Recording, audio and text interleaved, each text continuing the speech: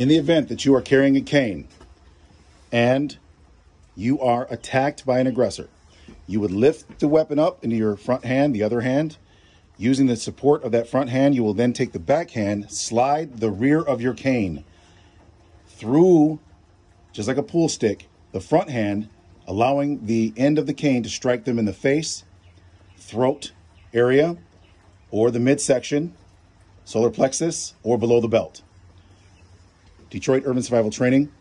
This will increase your survivability if you are attacked and you are carrying a cane.